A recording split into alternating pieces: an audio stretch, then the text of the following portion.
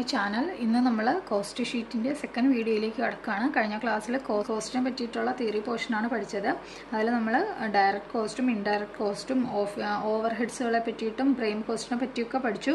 ഇനി ആ, ആ വീഡിയോ കണ്ടവർക്ക് ഇന്നത്തെ വീഡിയോ വളരെ എളുപ്പമായിരിക്കും. കാരണം ആ വീഡിയോയിൽ പറഞ്ഞ കാര്യങ്ങളെല്ലാം നമ്മൾ യോജിപ്പിച്ചിട്ട് തയ്യാറാക്കുന്ന ഒന്നാണ് കോസ്റ്റ് ഷീറ്റ് എന്ന് പറയുന്നത്.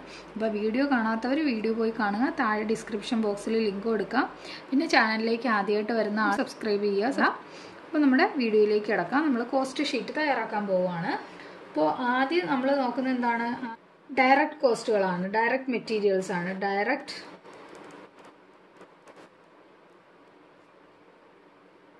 കോസ്റ്റ് ഏതൊക്കെയാണ് ഡയറക്റ്റ് കോസ്റ്റിൽ വരുന്നത്? Direct material direct labour direct expense ആദ്യം സ്റ്റാർട്ട് ചെയ്യുമ്പോൾ ഡയറക്റ്റ് ഒരു പ്രൊഡക്റ്റ് പ്രൊഡ്യൂസ് ചെയ്യാൻ ആദ്യം വേണ്ടത് എന്താണ്? റോ മെറ്റീരിയൽ ആണ്. കഴിഞ്ഞ വർഷത്തെ റോ മെറ്റീരിയൽ ബാക്കിയുണ്ടെങ്കിൽ അതിന് നമ്മൾ എങ്ങനെ എഴുതും? Opening raw material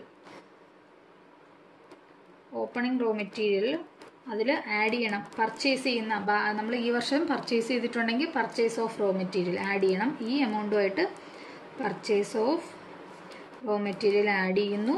ഈ റോ മെറ്റീരിയൽ പർച്ചേസ് ചെയ്തപ്പോൾ കമ്പനിയിലേക്ക് കൊണ്ടുവന്നിട്ടുണ്ടായ ഫ്രൈറ്റും ക്യാരേജ് ഇൻവേർഡും ഒക്കെ ഇതിൽ ആഡ് ചെയ്യണം. അപ്പോൾ ഫ്രൈറ്റ് ഓർ ക്യാരേജ് ഇൻവേർഡ് ഈ പർച്ചേസ് ചെയ്ത റോ മെറ്റീരിയൽ കമ്പനിയിൽ എത്തുമ്പോൾ ഉള്ള ഡയറക്റ്റ് ആയിട്ടുള്ള എക്സ്പെൻസ് ആഡ് ചെയ്യുക. പിന്നെ ഇതിൽ നിന്ന് എന്താണ് മൈനസ് ചെയ്യേണ്ടത്? എന്തെങ്കിലും നമ്മൾ ഈ വർഷം ക്ലോസ് ചെയ്യുമ്പോൾ ബാക്കിയുള്ള raw material closing stock of raw material അത് മൈനസ് ചെയ്യാം. ഇനി ഇതിൽ വരുന്ന എന്താണ്? സെയിൽ ഓഫ് വേസ്റ്റ് നമ്മൾ ഈ റോ മെറ്റീരിയൽ കൊണ്ടുവന്ന കാർട്ടൂൺസ് നമ്മൾ വിൽക്കുന്നു. വിൽക്കുമ്പോൾ അതിൽ നിന്നും പൈസ കിട്ടുകയാണ്. അപ്പം ആ കിട്ടുന്ന പൈസയെ നമ്മൾ മൈനസ് ചെയ്യണം. സെയിൽ ഓഫ് വേസ്റ്റ് സ്ക്രാപ്പ് അല്ല. സ്ക്രാപ്പ് എന്ന് പറയുമ്പോൾ യൂസ് ചെയ്ത് കഴിഞ്ഞിട്ട് ഒരു പ്രൊഡക്റ്റ് പ്രൊഡ്യൂസ് ചെയ്യാൻ വേണ്ടിയിട്ട് ഒരു പർട്ടിക്കുലർ ഒരു മെറ്റീരിയലോ എന്തെങ്കിലും യൂസ് ചെയ്ത് കഴിഞ്ഞിട്ട് ആ മെറ്റീരിയൽ കേടായി പോകുന്ന അവസ്ഥയാണ് സ്ക്രാപ്പ് എന്ന് പറയുന്നത്. ഇത് ആ പ്രൊഡക്റ്റ് കൊണ്ടുവന്നപ്പോൾ നമുക്ക് കിട്ടിയ കാർട്ടൂൺസ് എല്ലാം കൂടെ വിറ്റെന്ന് കരുതുക. ആ വിറ്റപ്പോൾ കിട്ടുന്ന ആ എമൗണ്ടിനെയാണ് സെയിൽ ഓഫ് വേസ്റ്റ് എന്ന് പറഞ്ഞത്. അത് ഉണ്ടെങ്കിൽ മൈനസ് ചെയ്യാം. ഇനി ഇതിൽ എന്തൊക്കെ ആഡ് ചെയ്യണം? ഡയറക്റ്റ് വേജസ് ആഡ് ചെയ്യണം. ഡയറക്റ്റ് മെറ്റീരിയൽ ആഡ് ചെയ്യണം. ഡയറക്റ്റ് എക്സ്പെൻസ് ആഡ് ചെയ്യണം. ഡയറക്റ്റ്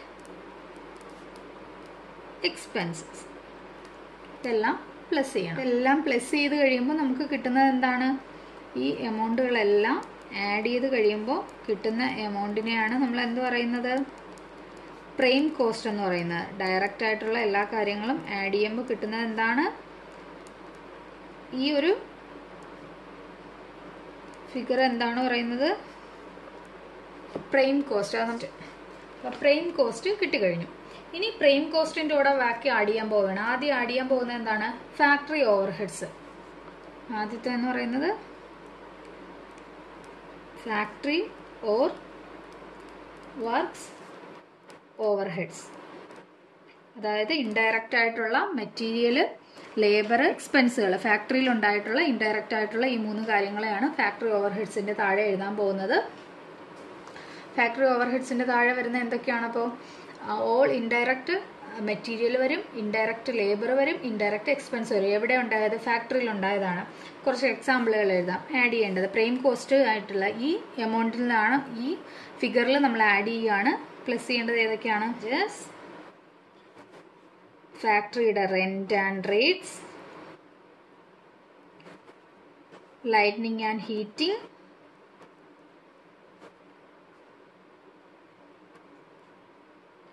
power and fuel ഫാക്ടറിയിലുണ്ടായ എല്ലാ ഇൻഡയറക്റ്റ് ആയിട്ടുള്ള പ്രൊഡക്ഷൻ ടൈമിൽ ഫാക്ടറിയിൽ ഉണ്ടായത് എന്തൊക്കെയാണോ അത് ഇൻഡയറക്റ്റ് ആയിട്ടുള്ള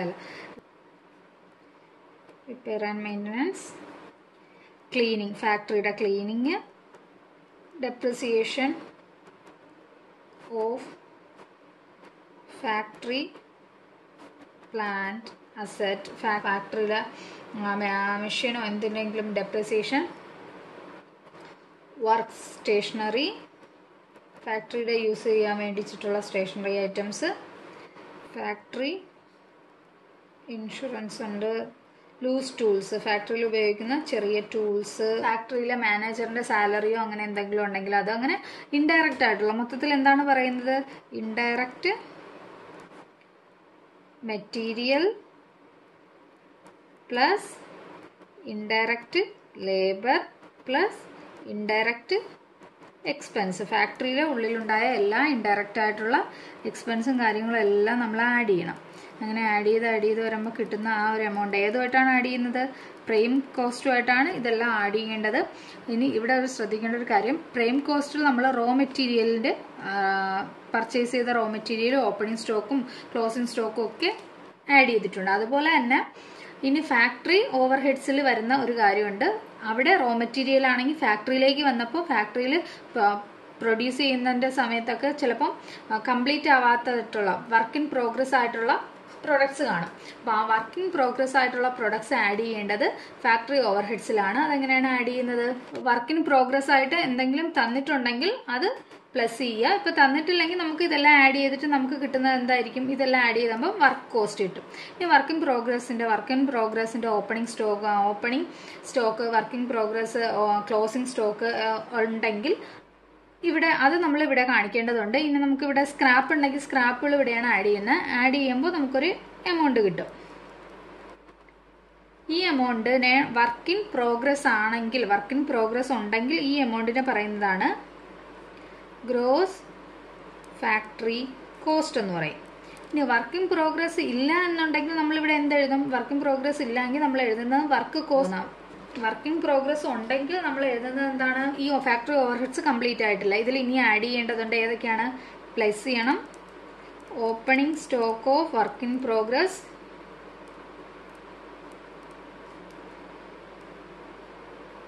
add ചെയ്യുന്നു. മൈനസ് ചെയ്യേണ്ടത് closing stock of working progress minus ചെയ്യണം ഈ രണ്ട് എമൗണ്ടുകളും ഇവിടെ കാണിക്കുമ്പോൾ കിട്ടുന്നതാണ് എന്ത്? അതിനുശേഷം നമുക്ക് കിട്ടുന്ന ഈ എമൗണ്ടിനെ പറയുന്ന പേരാണ് നെറ്റ് ഫാക്ടറി കോസ്റ്റ് എന്ന് പറയും. ഇതല്ല ഈ വർക്കിംഗ് കോസ്റ്റുമായിട്ട് ബന്ധമില്ലെങ്കിൽ കിട്ടുന്ന എമൗണ്ട് എന്താണ്? വർക്ക് കോസ്റ്റ് ഈ ഒരു പോർഷൻ ഇല്ലെങ്കിൽ ഈ കിട്ടുന്ന എമൗണ്ടിന് നമ്മൾ വർക്ക് കോസ്റ്റ് എന്നായിരിക്കും പറയുന്നത്. അപ്പോൾ വർക്കിംഗ് പ്രോഗ്രസ് ക്വസ്റ്റ്യന് തന്നിട്ടുണ്ടെങ്കിൽ അത് നമ്മൾ കാണിക്കേണ്ടത് ഫാക്ടറി ഓവർഹെഡ്സിലാണ് അത് ഫാക്ടറി ഓവർഹെഡ്സിൽ കാണിക്കുമ്പോൾ കിട്ടുന്ന ഈ എമൗണ്ടിന് നമ്മൾ എന്ത് പറയും? ആദ്യത്തെ എമൗണ്ടിന് ആദ്യം നമ്മുടെ ഫാക്ടറിയിലുണ്ടായ ഇൻഡയറക്റ്റ് ആയിട്ടുള്ള എല്ലാ കാര്യങ്ങളും ആഡ് ചെയ്യുമ്പോൾ കിട്ടുന്ന എമൗണ്ടിന് ഗ്രോസ് ഫാക്ടറി കോസ്റ്റ് എന്ന് പറയും. അതിൽ വർക്ക് ഇൻ പ്രോഗ്രസിന്റെ ഓപ്പണിംഗ് സ്റ്റോക്ക് ആഡ് ചെയ്യും. വർക്ക് ഇൻ പ്രോഗ്രസിന്റെ ക്ലോസിംഗ് സ്റ്റോക്ക് മൈനസ് ചെയ്യും. കിട്ടുന്നത് നെറ്റ് ഫാക്ടറി കോസ്റ്റ് ആണ്. അല്ലെങ്കിൽ വർക്ക് കോസ്റ്റ് എന്ന് പറയും. ഇനി ഈ പോർഷൻ ഇല്ലെങ്കിൽ നമ്മൾ ഡയറക്റ്റ് ഈ എമൗണ്ടിന് എന്ത് എഴുതും വർക്ക് കോസ്റ്റ് എന്ന് പറഞ്ഞിട്ടായിരിക്കും ഈ എമൗണ്ട് എഴുതുന്നത്. ഇനി അപ്പോൾ നമ്മുടെ ഫാക്ടറി ഓവർ ഹെഡ്സിൽ വരുന്ന കാര്യങ്ങളൊക്കെ കഴിഞ്ഞു. ഫാക്ടറി ഓവർ ഹെഡ്സിന്റെ ബാലൻസ് ഫിഗറായിട്ട് ഇതാണ് വരുന്നത്. ഇനി ഇവിടെയാണ് ആഡ് ചെയ്യേണ്ടത്. ഇനി ഈ ഫാക്ടറി ഓവർ ഹെഡ്സുമായിട്ട് ബാക്കി കാര്യങ്ങൾ ആഡ് ചെയ്യാൻ പോവുകയാണ്. ആഡ് ചെയ്യാൻ പോകുന്നത് office and administrative overheads ആണ്.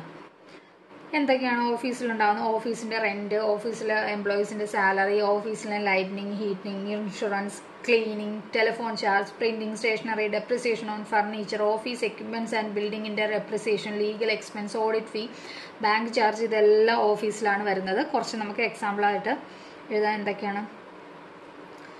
Rent and rates office insurance electricity bill phone B phone charge ബാക്കി ഇതിന്റെ കണ്ടിന്യൂഷനാണ് ബാക്കി എഴുതാൻ പോകുന്നത് അത് ഞാൻ ഇപ്പുറത്തേക്ക് മാറ്റി എഴുതുകയാണ് office furniture depreciation office cleaning office telephone charge audit fee bank charge ഇതെല്ലാം ഓഫീസിൽ വരുന്നതാണ്.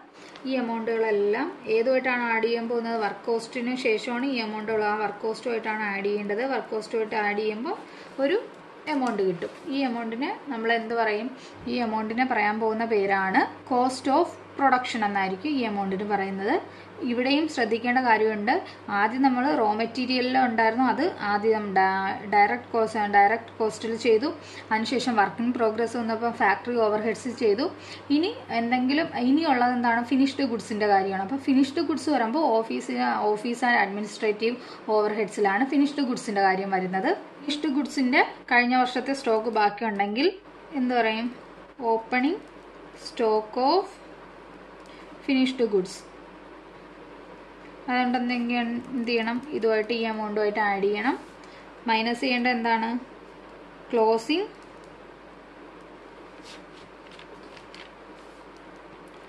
stock of finished goods closing stock ഉണ്ടെങ്കിൽ അത് മൈനസ് ചെയ്യണം. അപ്പോൾ അത് കഴിയുമ്പോൾ കിട്ടുന്നത് എന്താണ്? ഇവിടെ നമുക്ക് കിട്ടുന്ന ഈ എമൗണ്ടിന് എന്താണ് പറയുന്നത്? ഓഫീസിൽ ഇൻഡയറക്റ്റ് ആയിട്ടുള്ള മെറ്റീരിയലും ഇൻഡയറക്റ്റ് ലേബർ ഇൻഡയറക്റ്റ് ചാർജും ഒക്കെ ആഡ് ചെയ്ത് കഴിയുമ്പോൾ കിട്ടുന്ന എമൗണ്ട് എന്ന് പറയുന്നത് ഏത് പേരിലാണ് അറിയപ്പെടുന്നത്? കോസ്റ്റ് ഓഫ് പ്രൊഡക്ഷൻ എന്നാണ് അറിയപ്പെടുന്നത്. Cost of production cost of production സാധാരണ നമുക്ക് ഈ ഫിനിഷ്ഡ് ഗുഡ്സിന്റെ കാര്യങ്ങൾ ക്വസ്റ്റ്യന് റയറായിട്ടായിരിക്കും തരുന്നത്. തന്നിട്ടുണ്ടെങ്കിൽ കോസ്റ്റ് ഓഫ് പ്രൊഡക്ഷന് ശേഷം പിന്നെ എന്ത് ചെയ്യണം ഫിനിഷ്ഡ് ഗുഡ്സ് ആഡ് ചെയ്യണം. ക്ലോസിംഗ് സ്റ്റോക്ക് ഉണ്ടെങ്കിൽ മൈനസ് ചെയ്യണം. ഇത് മൈനസ് ചെയ്യുമ്പോൾ കിട്ടുന്ന ഈ ഒരു എമൗണ്ട് ഈ എമൗണ്ടിനെ പറയുന്ന പേരെന്താണ്? ഈ എമൗണ്ടിനെ പറയുന്ന പേരാണ് കോസ്റ്റ് ഓഫ് ഗുഡ്സ് സോൾഡ് എന്ന് പറയും. ഈ എമൗണ്ട് എന്താണ്? കോസ്റ്റ് ഓഫ് ഗുഡ്സ് സോൾഡ് ഇനി ഇതില്ലെങ്കിൽ നമുക്ക് ഇവിടെ ഏത് എമൗണ്ട് ആയിരിക്കും കിട്ടുന്നത്? ഇതില്ലെങ്കിൽ നമുക്ക് കിട്ടുന്ന എമൗണ്ട് എന്ന് പറയുന്നത് കോസ്റ്റ് ഓഫ് പ്രൊഡക്ഷൻ ആണ്. ഇതില്ലെങ്കിൽ നമ്മൾ കോസ്റ്റ് ഓഫ് പ്രൊഡക്ഷൻ എഴുതുന്നു. അതിൽ നിന്നും ഇനി കോസ്റ്റ് ഓഫ് പ്രൊഡക്ഷന് ശേഷം വരുന്ന എന്തൊക്കെയാണ്? കോസ്റ്റ് ഓഫ് പ്രൊഡക്ഷന് ശേഷം അടുത്ത വരുന്ന ഹെഡിങ് എന്ന് പറയുന്നത് സെല്ലിംഗ് ആൻഡ് ഡിസ്ട്രിബ്യൂഷൻ ഓവർഹെഡ്സ് അതായത് ഇതിന് ശേഷം കോസ്റ്റ് ഓഫ് പ്രൊഡക്ഷന് ശേഷം വരുന്ന ഹെഡിങ് എന്ന് പറയുന്നത് ഇതാണ്. കോസ്റ്റ് ഓഫ് പ്രൊഡക്ഷന്റെ ഈ എമൗണ്ട് അടുത്ത സെല്ലിംഗ് ആൻഡ് ഡിസ്ട്രിബ്യൂഷനിൽ വരുന്ന എല്ലാ ചാർജുകളുമായിട്ട് ആഡ് ചെയ്യണം. ഫിനിഷ്ഡ് ഗുഡ്സ് ഇല്ലാത്ത കാര്യമാണ് പറഞ്ഞത്. ഫിനിഷ്ഡ് ഗുഡ്സ് ഉണ്ടെങ്കിൽ എന്ത് ചെയ്യണം? Finished goods opening stock plus ചെയ്യുന്നു. ഈ എമൗണ്ട് കോസ്റ്റ് ഓഫ് പ്രൊഡക്ഷനുമായിട്ട് പ്ലസ് ചെയ്യണം. ക്ലോസിംഗ് സ്റ്റോക്ക് മൈനസ് ചെയ്യണം. ആ കിട്ടുന്ന എമൗണ്ട് വേണം. അടുത്തത് ഇതിലേക്ക് വരാം. ആ കിട്ടുന്ന എമൗണ്ടിന് സെല്ലിംഗ് ആൻഡ് ഡിസ്ട്രിബ്യൂഷനിലേക്ക് കാര്യങ്ങളുമായിട്ട് ആഡ് ചെയ്യുകയാണ് ചെയ്യുന്നത്.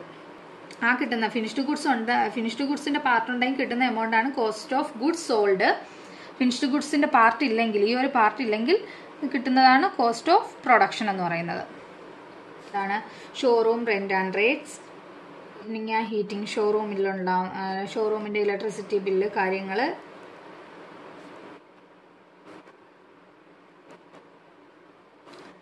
commission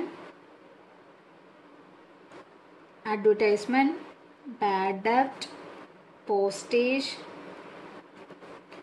depreciation. Depreciation ഇവിടെ എന്താണ് സംഭവിക്കുന്നത്? വെഹിക്കിളിനായിരിക്കും depreciation and running expenses of delivery. ഡെലിവറിക്ക് യൂസ് ചെയ്യുന്ന വെഹിക്കിളിന്റെ വാൻ. ഡെപ്റ്റ് കളക്ഷൻ ചാർജ്.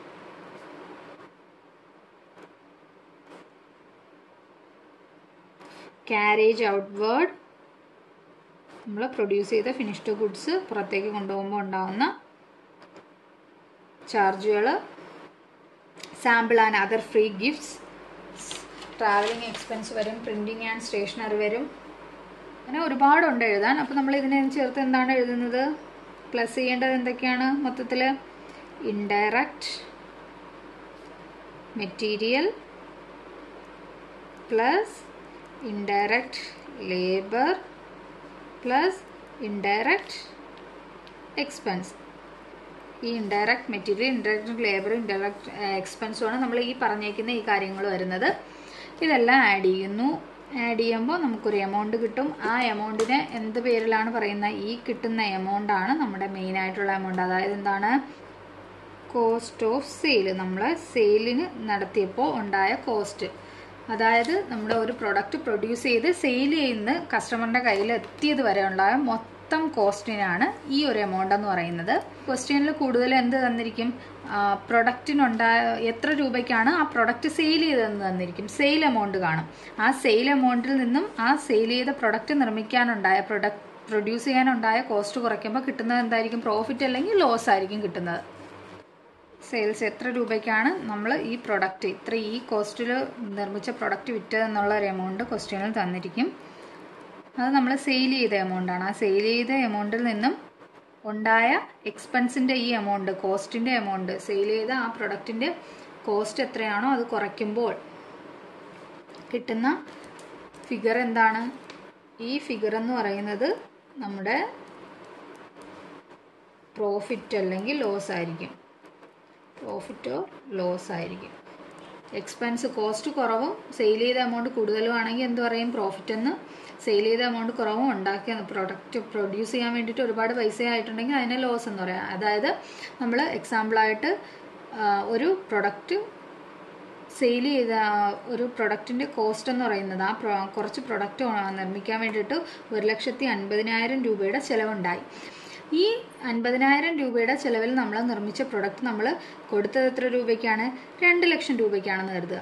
രണ്ട് ലക്ഷം രൂപയ്ക്ക് നമ്മൾ അത് വിറ്റു. ഒരു ലക്ഷത്തെ അൻപതിനായിരം മാത്രമേ നമുക്ക് കോസ്റ്റ് ആയിട്ടുള്ളൂ. അപ്പോൾ നമുക്ക് കിട്ടിയ എത്ര രൂപയാണ്? അൻപതിനായിരം രൂപയുടെ ലാഭം ഉണ്ടായിട്ടുണ്ട്. ഇതിനെന്ത് പറയും? പ്രോഫിറ്റ് എന്ന് പറയും. ഇനി തിരിച്ചാണ് വന്നിരുന്നെങ്കിൽ അമ്പതിനായിരം രൂപയുടെ നഷ്ടം എന്ന് പറയാം. വളരെ എളുപ്പമാണ് കോസ്റ്റ് ഷീറ്റ് തയ്യാറാക്കാൻ വേണ്ടിയിട്ട്. ആദ്യം ഡയറക്റ്റ് മെറ്റീരിയൽസിനെ എല്ലാം ആഡ് ചെയ്ത് പ്രൈം കോസ്റ്റ് കാണുക. പ്രൈം കോസ്റ്റിന്റെ കൂടെ പ്രൈം കോസ്റ്റിന്റെ കൂടെ എന്താണ് നോക്കേണ്ടത്? പ്രൈം കോസ്റ്റിന്റെ കൂടെ ഫാക്ടറി ഓവർ ഹെഡ്സ് ആഡ് ചെയ്യുക ഫാക്ടറിയിലുണ്ടായ ഡയറക്റ്റ് ആയിട്ടുള്ള ഇൻഡയറക്റ്റ് ആയിട്ടുള്ള എല്ലാ മെറ്റീരിയൽ ലേബർ എക്സ്പെൻസ് ആഡ് ചെയ്യുക. അപ്പോൾ കിട്ടുന്നത് എന്താണ്? ഈ ഇവിടെ വിടുക. ഇത് കൂടുതലും റയർ ആയിട്ടായിരിക്കും മാത്രമേ ഈ റെഡ് പോർഷൻ ഇപ്പം നിങ്ങൾ കണക്കാക്കേണ്ട ട്രേഡ് ആയിട്ടായിരിക്കും തരുന്നത്. തന്നിട്ടുണ്ടെങ്കിൽ ഓപ്പണിംഗ് സ്റ്റോക്ക് ആഡ് ചെയ്യണം ക്ലോസിംഗ് സ്റ്റോക്ക് മൈനസ് ചെയ്യണം. തന്നിട്ടില്ലെങ്കിൽ എന്ത് കിട്ടും?